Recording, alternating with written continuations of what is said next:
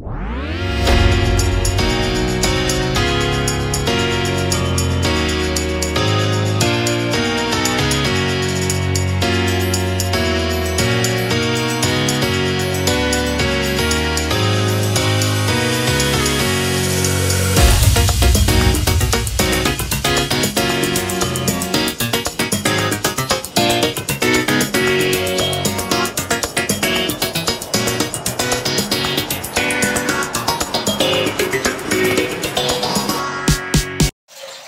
everyone, welcome to today's video. So today I figured I would take you on a day of the life.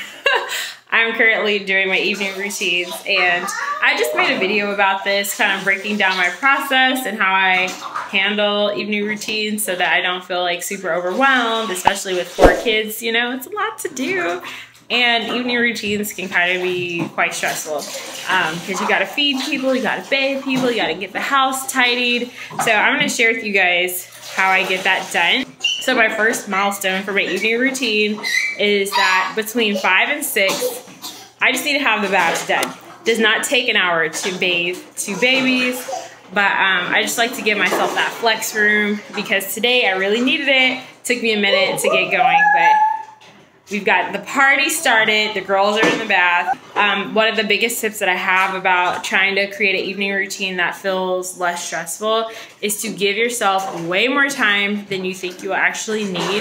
Um, I don't, I can't even remember what time I started my routines back in the day before I had them, but it definitely wasn't five o'clock. Five o'clock, honestly, sometimes it feels a little awkward, but it feels a little weird. But I thank myself every night at seven o'clock when the girls can go to bed on time. So I'm gonna get these girls all bathed. I'm gonna get them fresh. My husband will help me with the boys doing their routine. Um, the boys can kind of do things for their own. So he's just more there for supervision and just to make sure that they're doing things correctly. So I let them handle that however they see fit. But um, I'm gonna get these girls fresh and ready for the second part of our evening routine, which I will show you guys in just a minute. What are you doing? Looking at your good leftovers? Janelle, what you doing? Alright, so y'all, the hair has been put up, okay? Bonnet's out, headphones are on. This is how you know we're in focus mode. So the next step of this process is between the hours of six and seven. I like to go ahead and get the kids fed. And so typically I try to make this very, very, very easy on myself. Um, with quarantine, dinner is typically some type of leftovers. Typically I cook a lot. What do you want?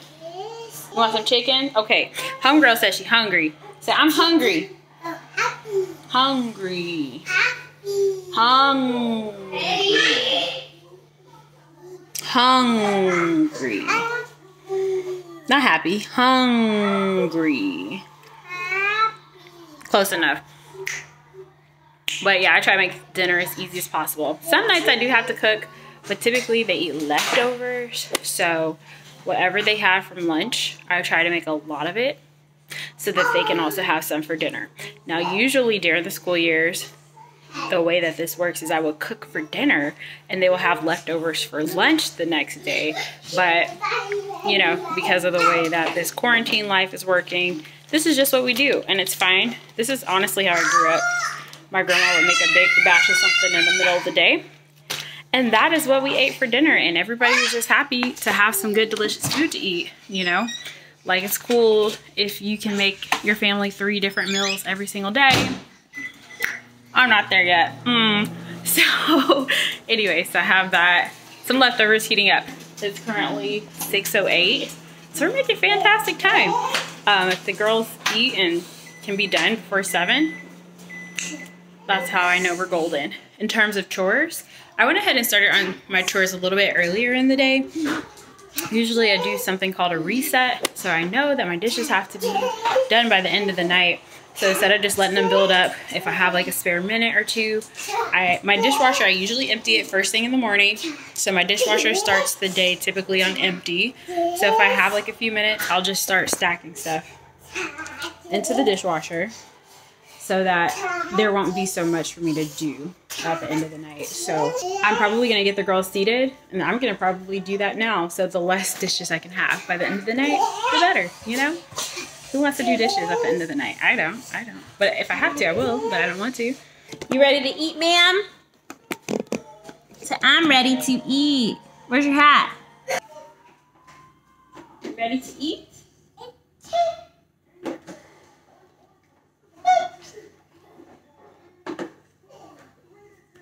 All right, so the kids are over there happily eating or whatever. So now I'm going to kind of work on a little bit of my cleaning routines.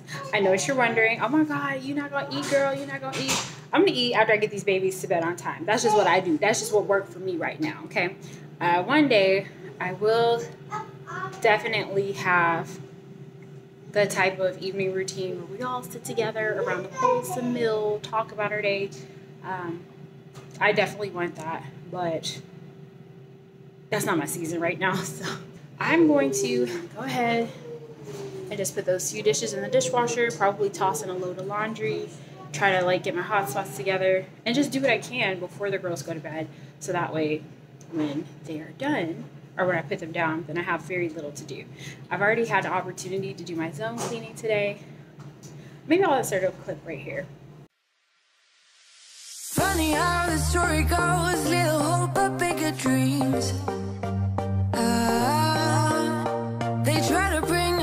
down, singing louder than the crowd.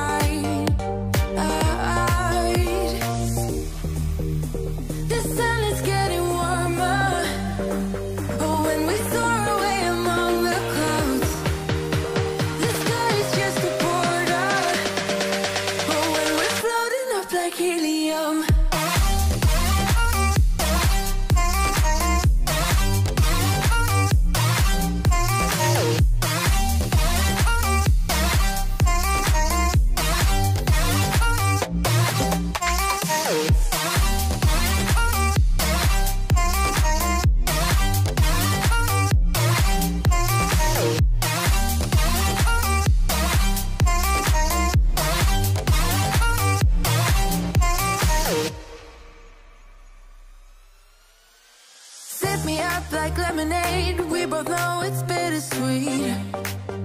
Ah, the sorrowness will bite your tongue. No one is forever young. No.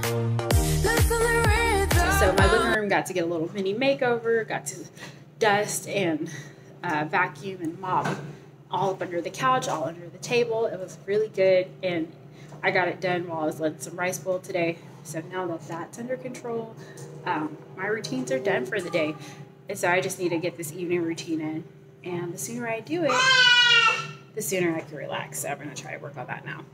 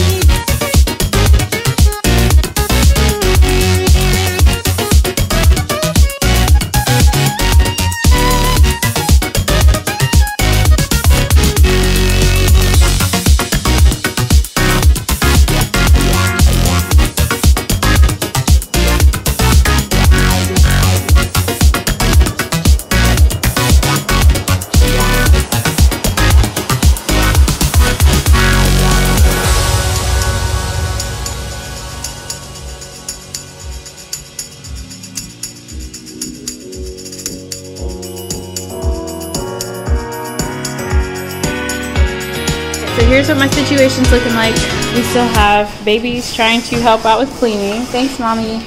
Thank you. Um, so this hotspot is as good as it's gonna get, y'all. Progress on perfection. Hotspot is done. I still have a few more dishes that I'm gonna do, so I need to do that. I got the laundry started. This is what the living room is looking like.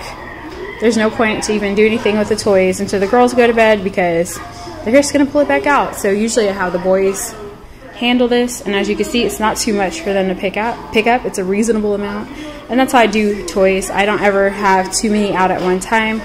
Only have out what they can handle. So if it's too much for them to put away, my kids just don't have access to it.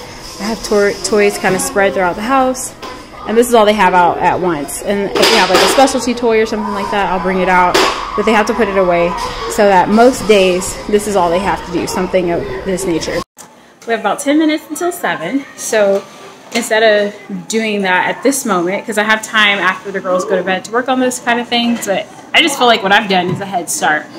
Whether I give myself a head start or not, these things are going to get done. If I didn't get a head start, I would just set my timer at the end of the night for 15 minutes. Do what I can. Most of the time, it's enough time to get it all done. But um, now that I have a head start, that means I won't even need to use my timer, which is great. Uh, but I'm to spend the next 10 minutes reading with the girls, playing with them, cuddling them, and getting them ready for bed.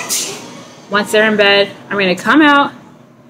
I need to do two things before I kind of sit down. I need to take a walk, short walk, and I need to get those dishes done.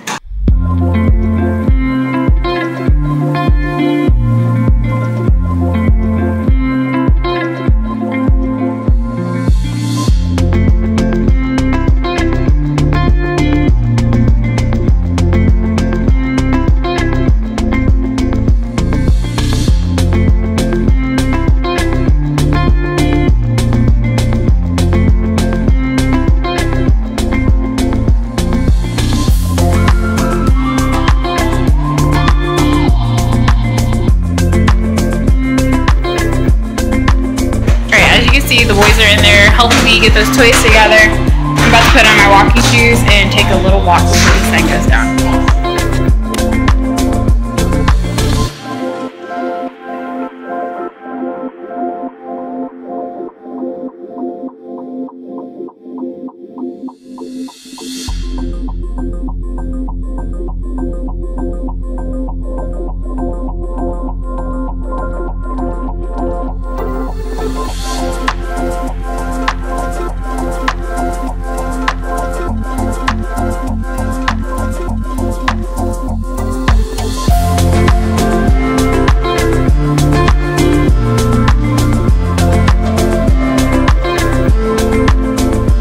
So your girl is sitting here chilling, living her best life. No, but seriously, I got done with my routines. It is um, 7.30. I didn't walk very long. I saw a guy with his dogs loose. That didn't jive well with me, so I did what I said I was going to do, like my tiny habit. I didn't do much more than that, and I came right on home.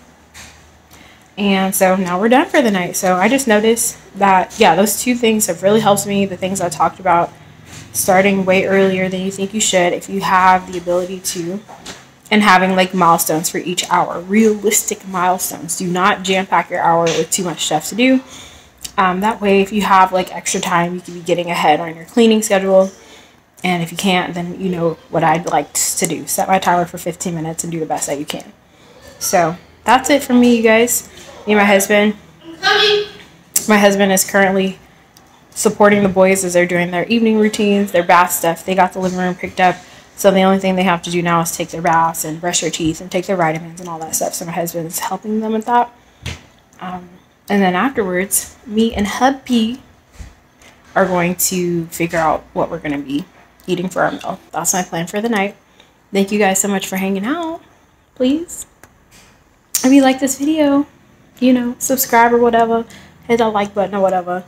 If you're more interested in like routines and simple systems that you can use to just feel more in control of your life at home, especially if you're a super busy mom, then you may be interested in the Peaceful Homekeeping Challenge.